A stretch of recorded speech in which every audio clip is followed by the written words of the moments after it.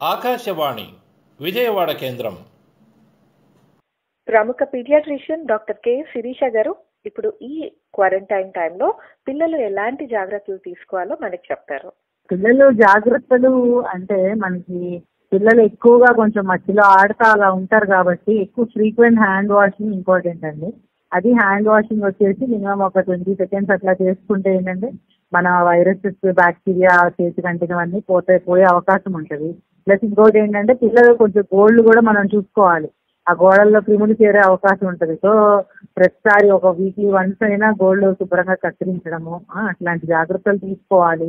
ఇంకా మనకి actually curfew ఉంది కాబట్టి పిల్లల్ని అంటే పక్కన ఉన్న పిల్లలతో ఆడుకోవడం అంటే పక్కన ఇంటి పిల్లలతో ఆడుకోవడం అట్లా కాకుండా మన ఇంట్లో మన పిల్లల్ని ఉంచుకొని వాళ్ళతో కొంచెం ఇంటరాక్టివ్ గేమ్ సెషన్స్ కానీ అట్లాంటివి ఏదైనా చేసుకుంటూ ఉంటే బెటర్ అంతేగాని ఇప్పుడు హోమ్ ఐసోలేషన్ uh, లో ఉన్నాము అని పక్కన పిల్లలతో ఆడుకునివ్వడం కూడా ప్రస్తుత పరిస్థితుల్లో అంత చేసి కాదండి. ఒకే సోప్ వాడచ్చు. యాక్చువల్గా మనకి పిల్లల్ని డెలికేట్ స్కిన్ కాబట్టి ఒక ఫస్ట్ టూ ఇయర్స్ అట్లా బేబీ సోప్స్ అయితే బెటర్ ఆ తర్వాత నుంచి మామూలుగా పెద్దవాళ్ళు వాడుకునే సోప్స్ పిల్లలు కూడా వాడచ్చు. అంటే జంక్ ఫుడ్ uh, అంత మంచిది కాదు కదండి.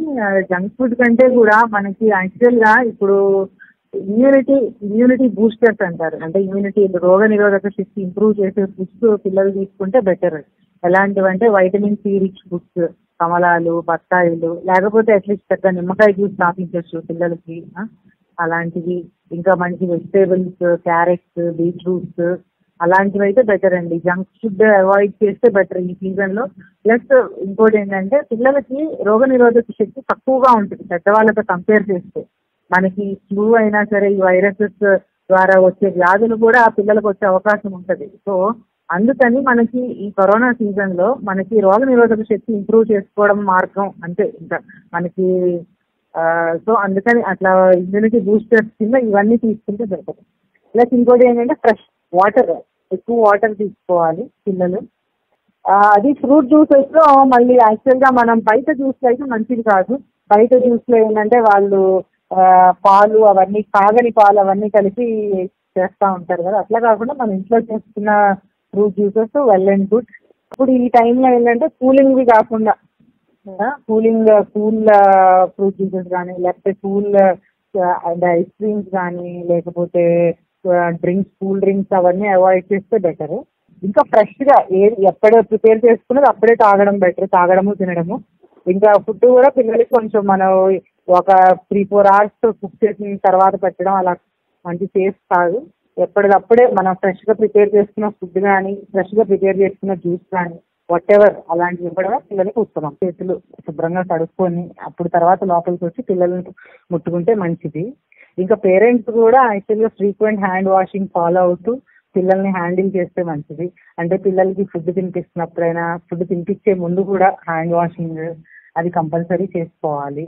ఇంకా వీళ్ళు పాలు తాగే పిల్లలు అయితే ఇంకా ఖచ్చితంగా బాటిల్స్ కొంచెం ఎక్కువ పెట్టుకొని స్టాక్ ఆ బాటిల్స్ కూడా మనం క్లీన్ చేసుకుంటూ ఉండాలి తరచుగా. అవన్నీ పాటిస్తే జాగ్రత్తలు మంచిది. హ్యాండ్ హైజీన్ ఒకటి మెయింటైన్ చేయాలి. అంటే ఇంకా పేరెంట్స్ వచ్చేసరికి ఇంకా అట్లీస్ట్ రోజుకి ఒక టెన్ టైమ్స్ అయినా కూడా హ్యాండ్ వాషింగ్ చేస్తూ ఉండాలి. ఇంకా ఇంకా చిన్నపిల్లల్ని ముద్దు ముద్దాటం బిల్లడం ఇట్లాంటివి కూడా కొంచెం తగ్గిస్తే బెటర్. ఎందుకంటే మనకి ఏంటంటే ఆ ఫోమైట్స్ ఏవైతే ఉంటాయో ఆ హ్యాండ్ మీద ఉన్న ఫోమైట్స్ మనం పిల్లల్ని టచ్ చేస్తే మళ్ళీ వాళ్ళకి ట్రాన్స్ఫర్ అయ్యే అవకాశం ఉంటుంది. సో అలా ఏమీ లేకుండా మనం జాగ్రత్త తగు జాగ్రత్త పాటిస్తే మంచిది. సో ముఖ్యమైన విషయం ఏంటంటే మన ఈ బరువు తక్కువ పిల్లలు అంటే లో బర్త్ రేట్ బేబీస్ ఇంకా నెలలు తక్కువగా పుట్టిన పిల్లలు ప్రీ టర్మ్ బేబీస్ వీళ్ళకి ఏంటంటే రోగ నిరోధక శక్తి తక్కువగా ఉంటుంది.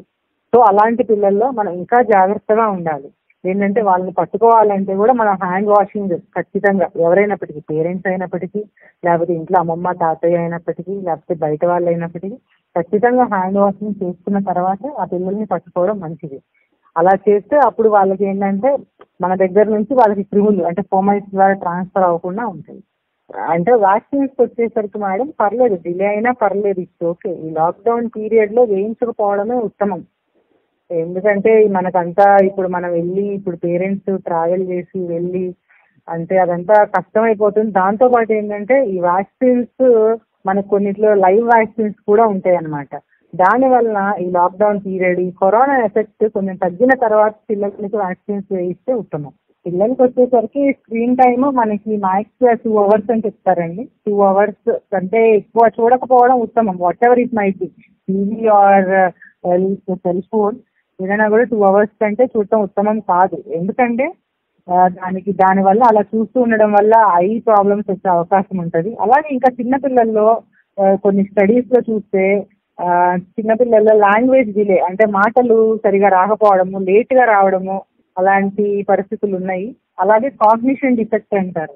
అంటే మనం చెప్పింది అర్థం చేసుకోకపోవడము ఇవన్నీ అంటే చిన్న పిల్లలు వన్ టూ ఇయర్స్ పిల్లల్లో మనకి ఇవన్నీ కనిపిస్తాయి. ఇప్పుడు పిల్లలకి వన్ ఇయర్ పిల్లలకే ఈ ఫోన్లు టీవీలు ఇవన్నీ చూస్తూ ఉన్నారు కదా. వాటి వల్ల ఈ ప్రాబ్లమ్స్ అన్నీ వస్తూ ఉంటాయి.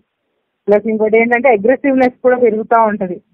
కార్టూన్లో ఇలా ఉన్నాడు కాబట్టి నేను కూడా అలాగే చేయాలి అనే ధోరణి పిల్లల్లో ఎక్కువ అవుతుంది. సో అందుకని ఈ టీవీను సెల్ ఫోన్ స్క్రీన్ టైం కొంచెం తగ్గించేసి ఏదైనా గేమ్స్ ఒక షెడ్యూల్ లాగా పెట్టి ఇంట్లో గేమ్స్ పేరెంట్స్ కూడా యాక్చువల్లీ ఇప్పుడు ఖాళీగానే ఉంటారు కాబట్టి ఎంప్లాయీస్ అయినా కూడా ఇళ్ళలోనే ఉంటారు కాబట్టి they should have a very good time అవుతుంది చిన్నపిల్లల్లో రావచ్చండి. ఖచ్చితంగా ఉంది అవకాశం.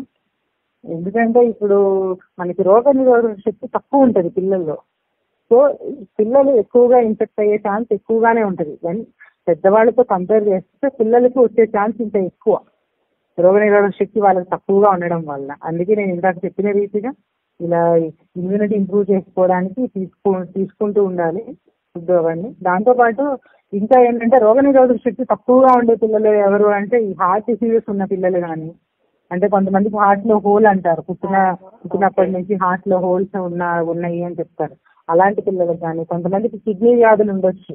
అలాంటి పిల్లలు కానీ ఇంకా కొంతమంది ఏమైనా క్యాన్సర్స్ ఉన్న పిల్లలు కానీ ఏమైనా ఇమ్యూనో సప్రెసివ్ ఏజెంట్స్ వేటికైనా స్టీరాయిడ్స్ మీద ఉన్న పిల్లలు కానీ ఇలాంటి పిల్లలు ఈ కరోనా సీజన్లో చాలా జాగ్రత్తగా ఉండాలి. పేరెంట్స్ కూడా వీళ్ళని చాలా జాగ్రత్తగా చూసుకోవాలి. మెయిన్ ఏంటంటే సోషల్ డిస్టెన్సింగ్ కూడా ఉండాలి. అంటే ఇలా ఫ్లూ ఎవరికైనా ఉందనుకోండి ఇంట్లో పెద్దవాళ్ళకి ఫ్లూ అంటే ఆయన జలుబు కానీ దగ్గు కానీ ఏదైనా ఉంటే పెద్దవాళ్ళు ఆ పిల్లలతో కొంచెం డిస్టెన్స్ అంటే at least one two metres distance అలా మెయింటైన్ చేసుకుంటే మనకి ఆ చిన్నపిల్లలకి ఏంటంటే ఆ ఫ్లూ కూడా రాకుండా ఉంటుంది. జలుబు దగ్గు వచ్చిన పిల్లలు మెయిన్గా కూల్ ఐటమ్స్ అవాయిడ్ చేయాలండి. కూల్ అంటే కూల్ డ్రింక్స్ కానీ అట్లా కూల్ వాటర్ కానీ అలాంటివన్నీ అవాయిడ్ చేస్తే సరిపోతుంది.